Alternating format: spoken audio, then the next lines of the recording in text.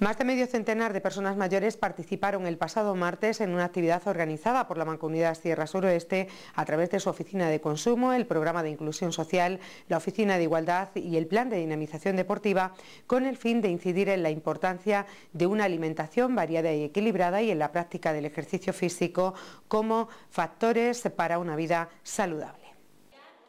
La actividad comenzó con una visita al Museo Casa Natal de Vasco Niño de Balboa y continuó con una marcha a pie hasta el recinto ferial, donde las personas participantes tomaron un desayuno saludable y disfrutaron con el desarrollo de distintas actividades lúdicas y deportivas.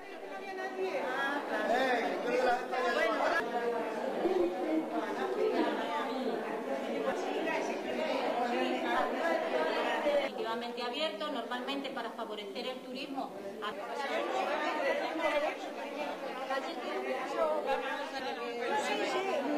下雨，声。